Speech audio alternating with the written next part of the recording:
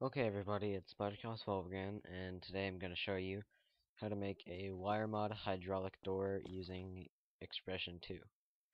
Um, so this door you can use for pretty much anything. It's really cool. Um, it's a nice little door, it's convenient, and all that.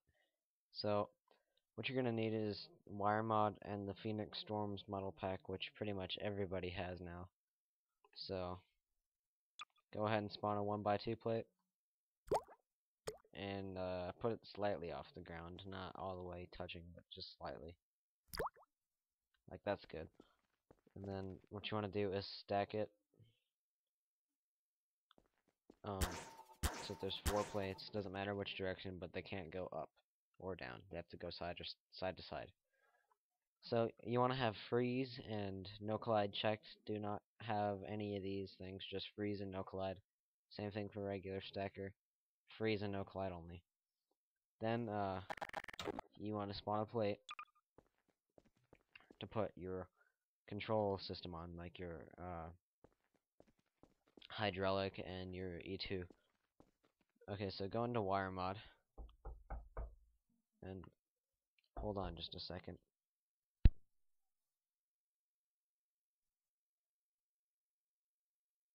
Okay, sorry about that. Now, um, back to this video, we are going to go to wire physics, go to hydraulic. Now, make sure width zero fixed is checked. Let's see.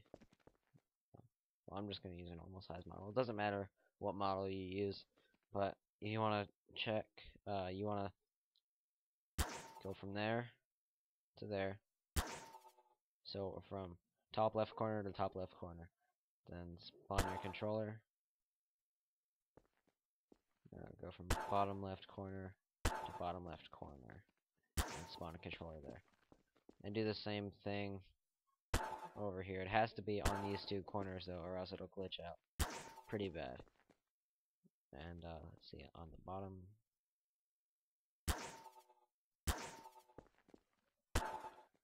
Alright, so now that you have your hydraulic placed, next thing you want to do is place your buttons. Now, the button model you use really doesn't matter, it's up to you, but I'm going to use start and stop, just because.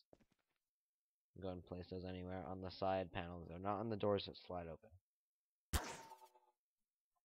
Just go ahead and place those there. On the other side, get some. Alright, so now that your buttons are placed, go into Control and then Expression 2. And once you're in the Expression 2 editor, right click to open the editor. And um, I'm going to write the E2 in the description. So you can go ahead and copy that in from the description. I'll show you how to do that later too. Or I'll put it in the description as well, how to transfer this into the wire expression 2 folder so that it's already there and you don't have to do anything because that's what I did with this E2 this uh, turret. So yeah alright so you have a hydraulic door E2 you can name it whatever well I'm just gonna put it in the description. Go ahead and spawn that anywhere. Now what you want to do is wire it now. We're going to wire the length to H. On the hydraulic uh, E2 now that you have that done, you go ahead and uh, you're going to wire A to the outside open button. You're going to wire B to the outside closed button. We can go ahead and move this over here. What the hell? Alright. Now, you want to take A1, wire to the inside closed button, and B1 to the outside, er, inside close button. So, when everything's wired up, you can go ahead and, uh, I'm just gonna make sure this is all no collided. Alright, you can go ahead and unfreeze your doors and they should slide open automatically, and then you press the button to close. They open, and then the same thing on this side. They close and open. So, yeah, that was just uh, how to make a wire hydraulic door. It's pretty simple and effective. It's really cool. You can use it for uh, any any sort of fort. in a video that I will upload later, you will see that I have uh, this hydraulic door system, but for multiple doors. So you can use it multiple times. Like spawn multiple of these. It's pretty cool. Um, so yeah, that was that. Thanks for watching.